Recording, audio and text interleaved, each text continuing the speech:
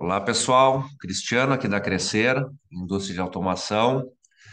É, continuando aqui o nosso comparativo de programação em C no Arduino versus programação em Ladder usando a plataforma OpenPLC.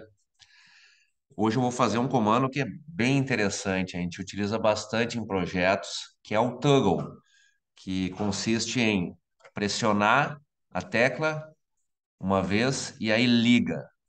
Pressiona de novo, desliga. Tá? Então é, é um comando útil para quando a gente tem um hardware que é utilizar somente um, uma tecla, né? Para fazer N comandos, ou mesmo só ligar e desligar.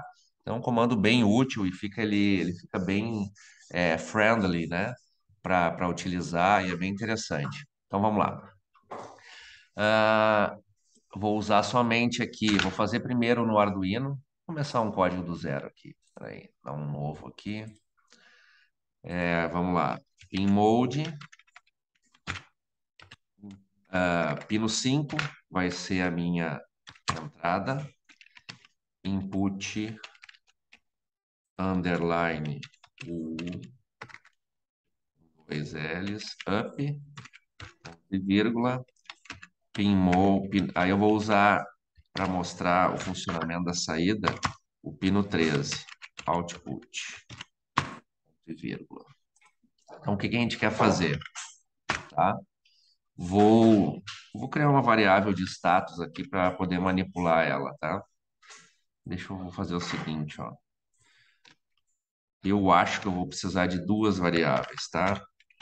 int status é, do pino 5 igual a zero. Ah, não, eles começam a ler em 1, né? Porque está em pull up. E vou colocar um status 5 old, que é velho, tá? Então vamos ver aqui. Opa, bati na câmera. Também, também, tá. Vou pegar esse esse cara aqui e vou dar um digital read e no 5. Então tá. Se bem que eu vou trabalhar com inversão já. Aí vai ficar até mais fácil de eu pensar lá no, no OpenPLC. Então tá aqui. Aqui eu já estou fazendo a inversão da leitura. Então, se não está pressionado, é zero. Se tiver pressionado, é um ok? Então, o que, que eu quero fazer? Quando eu pressionar uma vez, na verdade, basicamente, ele vai trabalhar com uma inversão de estado. Só que o que, que acontece também nesses casos? Eu preciso é, fazer com que, ao pressionar, leia uma vez só. Então, o que, que acontece? Aí tem uma lógica bem interessante, que é a lógica de detecção de degrau. Tá? Então, é detectar um, um rising, que é quando sobe um pulso, uma detecção de pulso, tá? Então, detecção de rising, que é quando sobe, e falling, que é quando desce. Então, eu quero fazer o seguinte, quando mudar o estado, o status de 0 para 1, um, que o status 5 está sempre em 0, quando ele mudar para 1, um, eu quero que ligue, eu quero que inverta o pino 13, tá? Então, vamos fazer isso aí. Como é que eu faço essa detecção? Ah, me lembrei o nome certo. Detecção de borda. Detecção de borda. Isso é importante, essa lógica é bem importante, tá? Então, nós vamos fazer uma detecção de borda de subida. Então, vou fazer assim, ó. Por isso que tem aquele old lá. If. Então, primeiro, eu vou trabalhar com isso aqui, ó, que é uma detecção de mudança de estado. Ainda não é borda. Então, tá aqui, ó. Então, quando mudar, quando o, a leitura for diferente do old, o que, que eu vou fazer?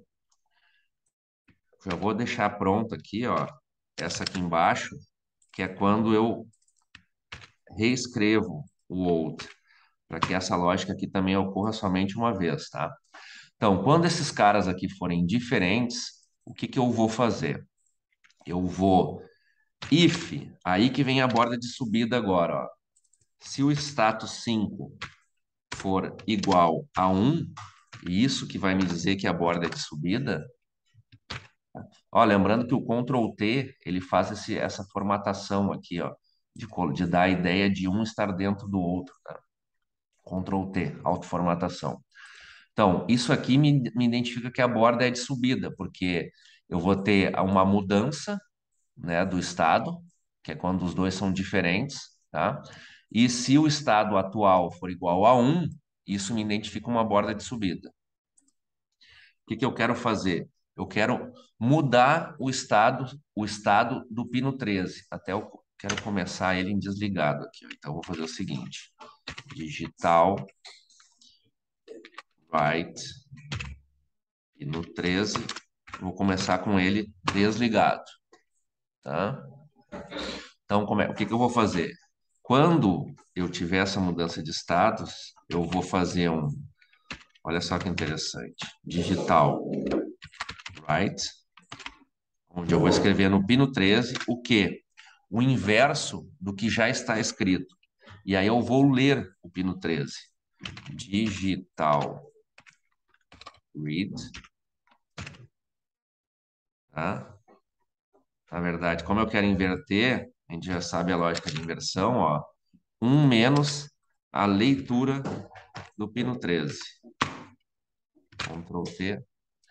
Então, assim, ó, isso vai dar esse efeito que eu estou querendo. Tá? Toda vez que for uma mudança de estado e for um, ele vai inverter o pino 13. E isso vai dar o efeito de toggle. Vamos carregar e vamos ver se funciona. Depois eu vou fazer essa mesma lógica no OpenPLC. E ele tem umas ferramentas bem interessantes para isso. Que não é só o OpenPLC, né? É toda a linguagem de programação de CLP. Então vamos ver se vai funcionar para depois a gente mudar para outra plataforma e poder ver como funciona em um e como funciona em outro. Então, liguei, né? O Arduino está ligado, está no estado inicial, a saída está desligada e vamos ver se funciona. Vou pressionar uma vez, pressionei e tirei. Tá? Então ele ficou ligado. Deu o efeito que eu gostaria. Agora eu vou pressionar de novo. Pressionei e tirei. Ligou. Ligou porque é o seguinte, ó.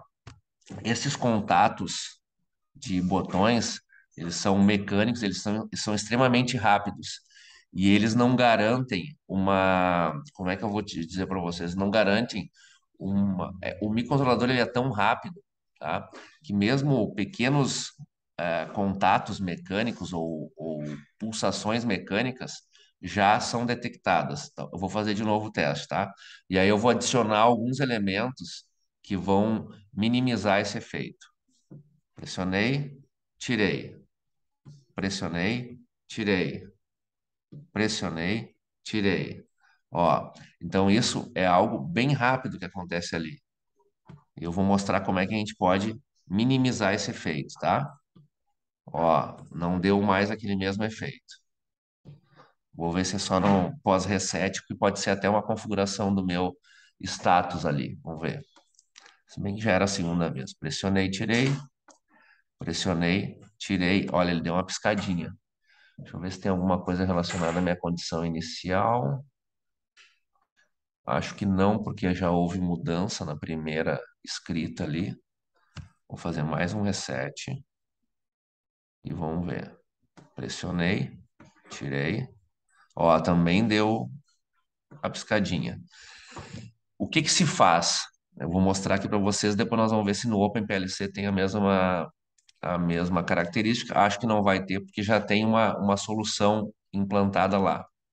Aqui, a gente pode fazer uma, uma recorrência de leitura, tá? Então, assim, ah, se ficar o status durante um tempo, ele vai...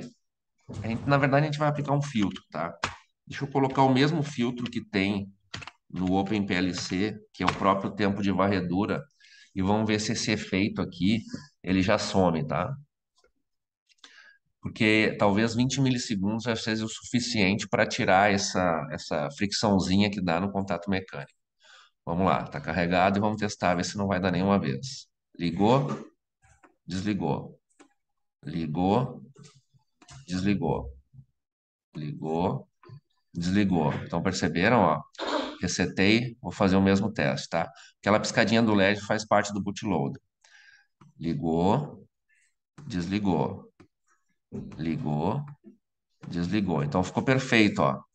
Só com aquele delay de 20 milissegundos, que é um delay que já tem como parte da varredura do OpenPLC, que simula um CLP, já funciona. E aqui também, ó. Então, provavelmente no OpenPLC não vai ter o mesmo problema. Vamos ver se eu consigo fazer a, a lógica rapidinha aqui do, do OpenPLC também, para não ficar muito longo o vídeo.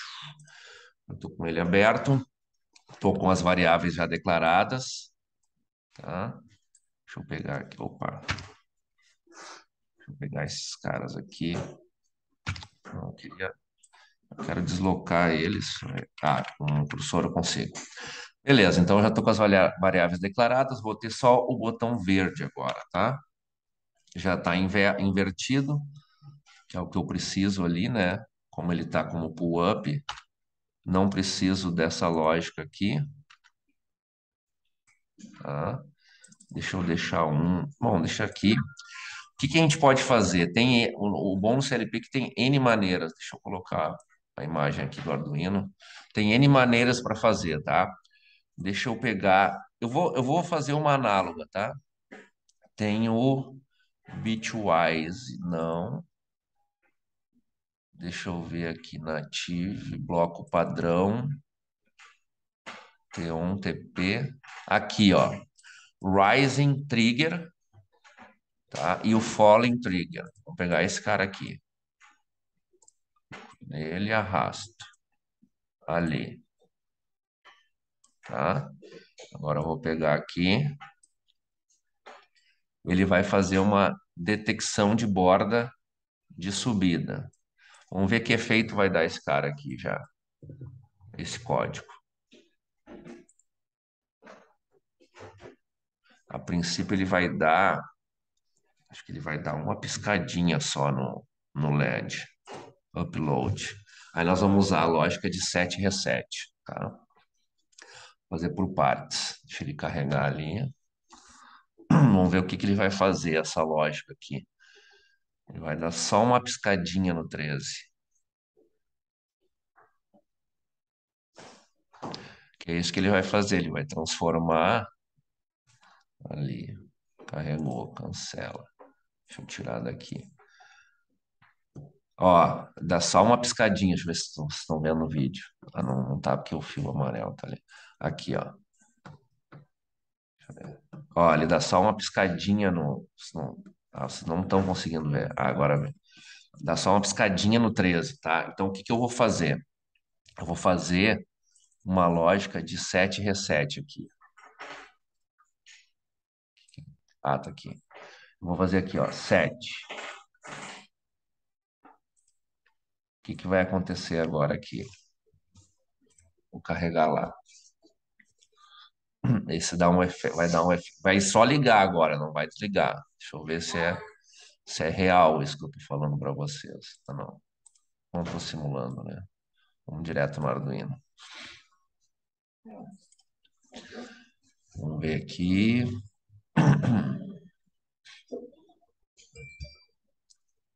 Esperar um pouquinho. Generating, uploading. Então tá aí uma boa forma de aprender PLC. Vamos ver o que está acontecendo.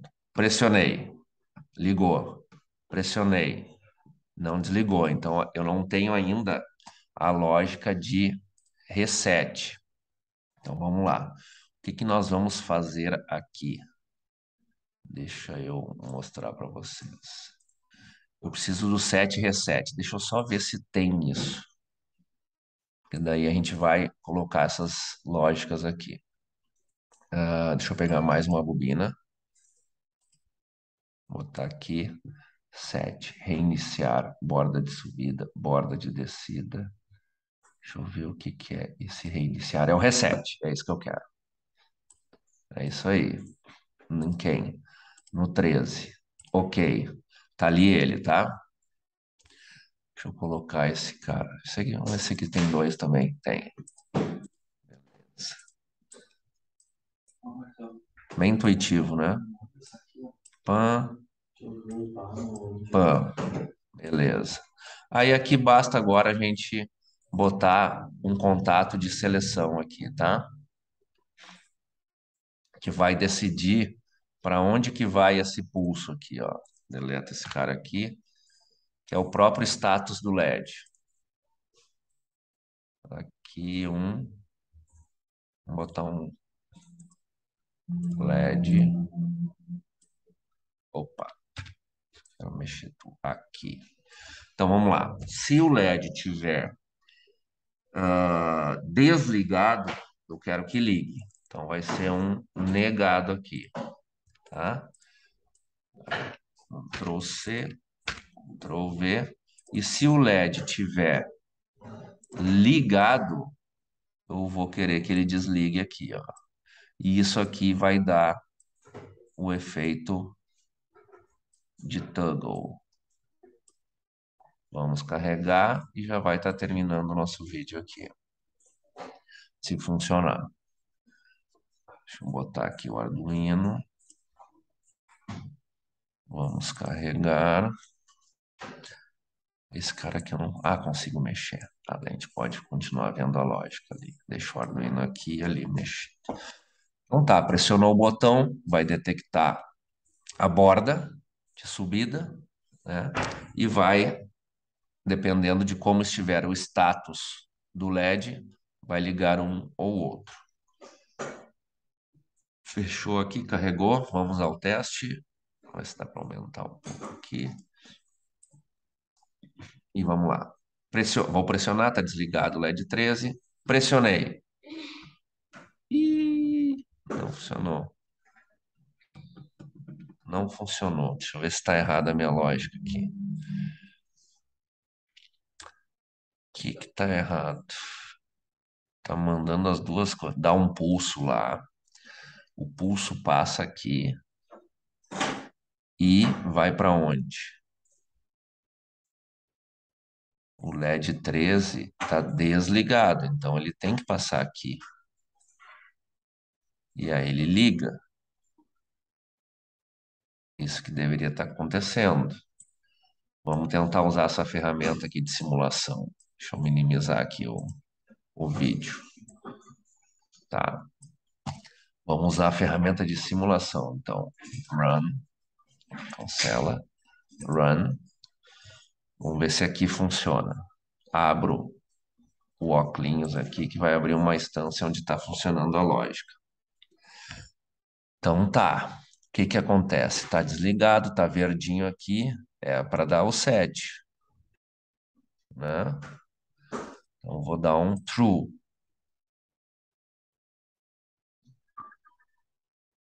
Não, tem que dar um false. False. Pisquei ele. Realmente não ligou. Deixa eu dar um pause aqui para ver uma lógica que funciona. Para não estender mais ainda o vídeo.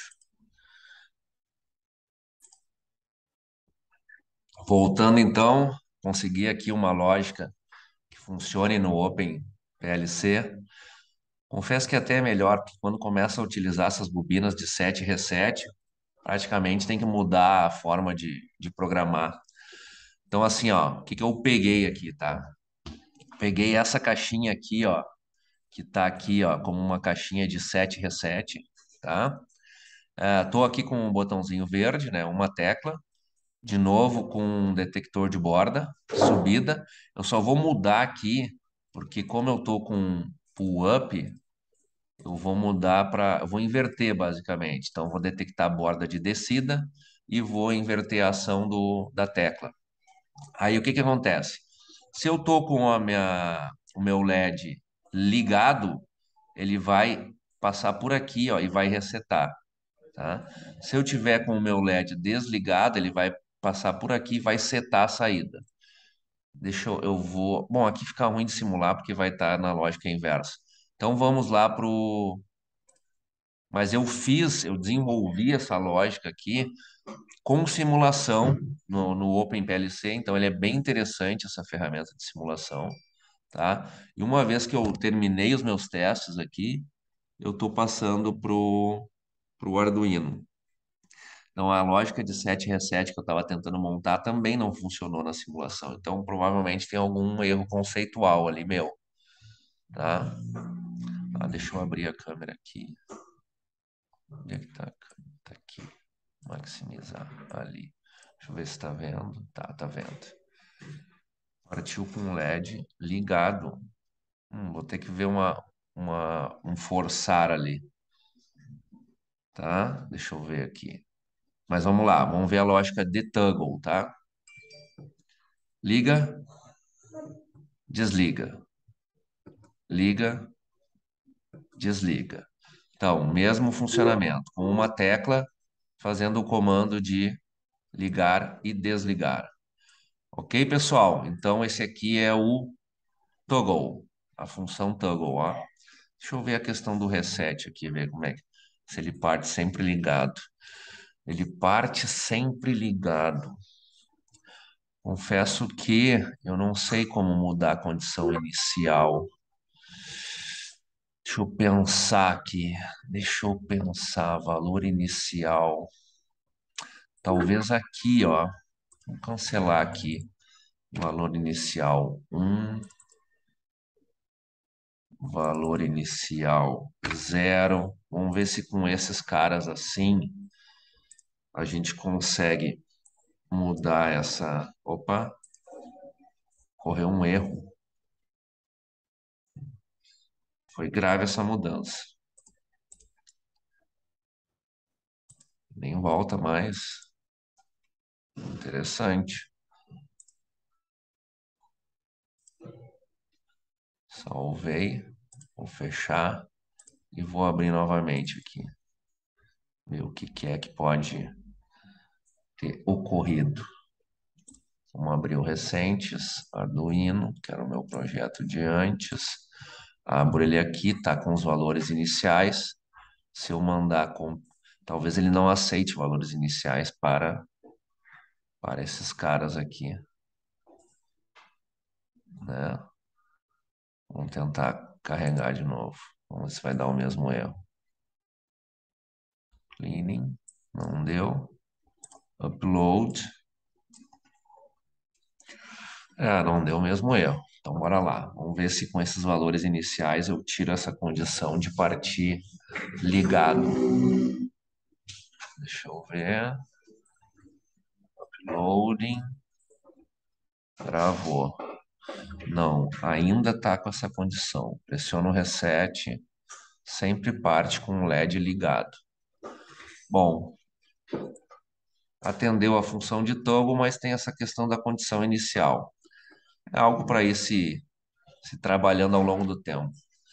Tá ok, pessoal? Mas eu vou encerrar o vídeo aqui que se alongou demais já. Grande abraço aí e até os próximos vídeos, até os próximos vídeos de, de comparação aí.